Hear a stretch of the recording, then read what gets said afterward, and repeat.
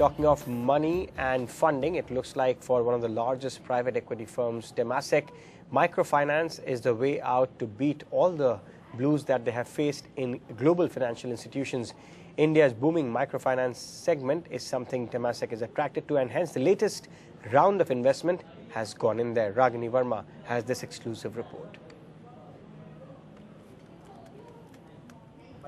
Temasek's Manish Kejriwal has always been bullish about the Indian financial sector, and now he's taking his interest to India's rural hinterlands. After a 10th month hiatus, Temasek is close to finalizing a fresh investment in India, this time in the microfinance space.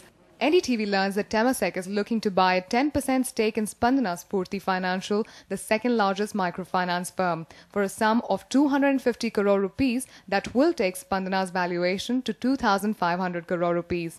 Majority of this deal will be through fresh issuance of equity of almost 7.5%, and the remaining 2.5% will be diluted by Lok Capital and existing investor. JM Financial and Avendus Capital are the financial advisors for the deal. When contacted, Temasek refused to comment, but Spandana confirmed P interest in the microfinance company, saying, We are looking at raising 250 crore rupees. There is enormous interest shown by high valued investors like Temasek. Final decision on the shortlisted investor and valuation will be taken in the board meeting next week. Temasek's investment in Spandana is the latest evidence of private investor interest in the microfinance space.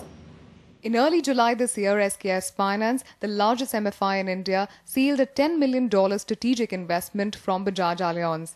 And reports suggest that MFIs have seen an inflow of $200 million of $1 billion in private equity money in the past 18 months in banking and financial institutions. And the reason it's an interesting area from an uh, investment perspective is that it offers both scalability and growth as well as sustainability of operations. You go out of the broader urban areas into tier 2 towns, tier 3 towns and the rural areas, there's a huge issue of penetration.